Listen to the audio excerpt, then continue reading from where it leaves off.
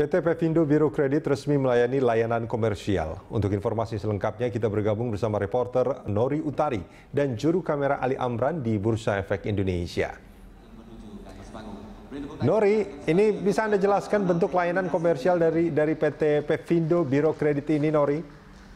Ya, Rudi, bahwa baru saja selesai dilaksanakan peresmian yaitu layanan akses informasi kredit dari Pevindo Biro Kredit. Dalam peresmian ini dihadiri langsung oleh Direktur Utama Pevindo Biro Kredit yaitu Ronald T. Andikasim dan juga Ketua Komisioner Otoritas Jasa Keuangan yaitu Mulia Madehadat.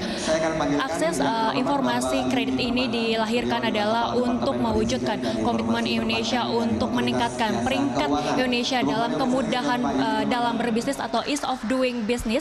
Uh, mengingat saat ini peringkat Indonesia pada tahun 2017 dalam kemudahan berbisnis yaitu ada pada posisi 62 dari ranking sebelumnya yaitu di posisi 106. Namun pemerintah Indonesia akan terus melakukan pemenahan dalam kemudahan ber, berbisnis agar nantinya Indonesia bisa masuk dalam 40 besar dalam kemudahan berbisnis di tingkat internasional. Salah satunya adalah untuk uh, dengan membuka layanan informasi kredit ini. Di samping itu juga dengan adanya layanan informasi kredit ini, Pevindo juga akan memberikan uh, kemudahan dalam pembiayaan bagi UMKM di seluruh Indonesia. Selain itu juga bagi lembaga keuangan yang bergabung dalam layanan akses informasi kredit ini juga akan diberikan kemudahan yaitu mendapatkan penilaian kelayakan kredit bagi debitur sehingga bagi lembaga keuangan yang ingin memberikan pinjaman kepada debitur bisa mengetahui jejak rekam dari debitur dalam menerima kredit. Rudi.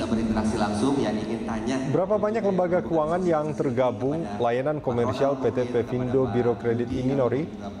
Ya Rudi, saat ini tercatat sudah ada 55 lembaga keuangan yang bergabung dalam layanan informasi kredit dari Pevindo Biro Kredit, yaitu terdiri dari bank dan juga multi finance. Masih ada sekitar 25 lembaga keuangan lagi yang belum bergabung, sehingga bagi lembaga keuangan yang belum bergabung bisa langsung datang ke kantor Pevindo untuk melakukan uh, atau mengisi formulir dan juga memenuhi persyaratan yang sudah ditentukan. Selain itu juga sudah ada sekitar 18 perusahaan financial teknologi yang sudah bergabung untuk menjadi mitra dalam pelayanan akses informasi kredit ini. Rudi.